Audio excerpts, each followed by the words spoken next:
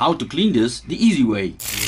So everybody uses a ton of brake cleaner on these things and uh, they're not so good for your health. So we're going to show you a better way to clean the insides of this diff. Make it new again. So I use an ultrasonic cleaner. This one is one from 6 liters. You have smaller ones and bigger ones. I find this thing more than adequate enough. I don't throw it in there like this. I'll show you how I do it. It's the easiest way to keep the inside clean and make this clean too. This is how it looks inside. There's a net inside. I filled it with tap water. It's a little dirty, but that's no makes an horrendous sound. Everybody knows how to open a diff.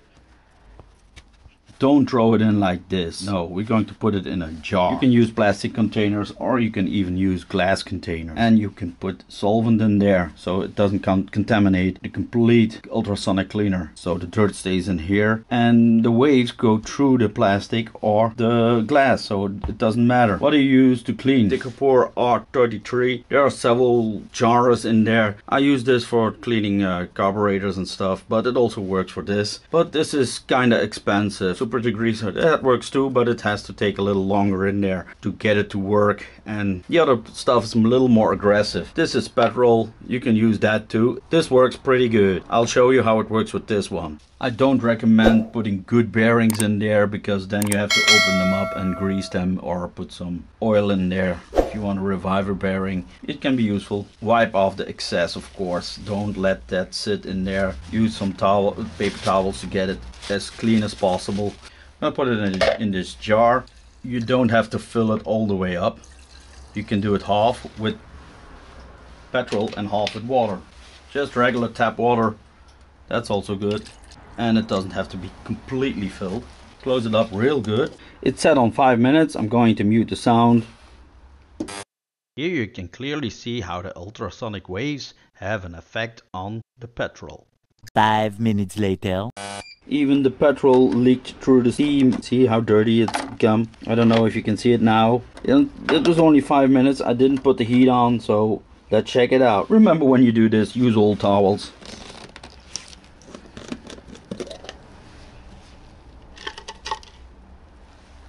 spotless. There's a little inside there still, see? But it was only for 5 minutes and if it's not good enough, you can still put it back. I'm going to put another 5 minutes on there, taking time. There's still some inside, but not much. Sometimes you have to repeat the process a couple of times because grease in some cases is very, very hard to remove. And meanwhile, that when that was cooking, I opened the diff and put everything in there so gonna put this one in there. Also when you do this try to ventilate something because petrol it stinks. uh, you can see how dirty it is. The best thing to use is glass containers. They close up better than the plastic ones. Your water gets dirty quicker. And you can see how dirty it is. And also I don't know if you can see it on the camera but you can see also how clean it is. Don't throw in uh, o-rings and stuff, they swell up. To get everything out the quick way, you can use a magnet.